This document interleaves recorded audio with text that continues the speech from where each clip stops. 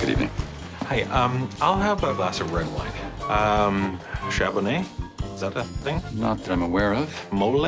I believe that is a Mexican chocolate sauce. Could you just bring a glass of red wine? Like a nice one, one that makes me look like I know what I'm doing? I will pick a nice wine. I doubt it will make anyone think you know what you're doing. Leo Falloon is not what he seems. He's a crazy, thrill-seeking daredevil from a circus. He's less. Who are you? Oh, he sells foamy beer hats and fobby whatnots. Novelty crap. It's not novelty crap, it's specialty crap.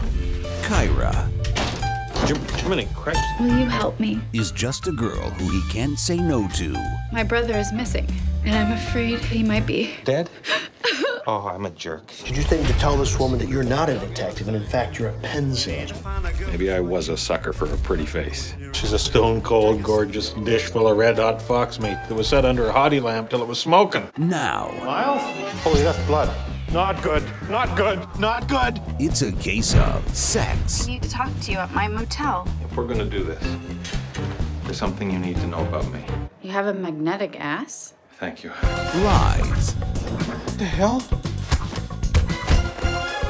She's like a trained killer. What am I gonna do? Whatever it takes to not make her kill you.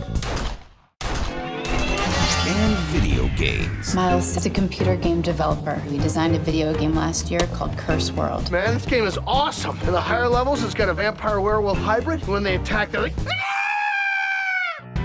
Brent Butt, Amy Smart, David Koechner. Well, if isn't Mr. Private Eye. He's breaking all the rules You're pinching the fatty part of my arm. because he has no idea Hi, tough guy. I'm, I'm in way over my head here. what they are. Ah, get a hold of yourself! Leo, where are you? I'm actually in the middle of an interrogation right now, and you're gonna talk too. Ow, what the hell are you doing?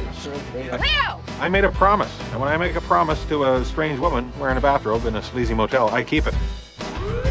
No clue. Whoa, whoa, whoa! Where's everybody getting guns? This is Canada.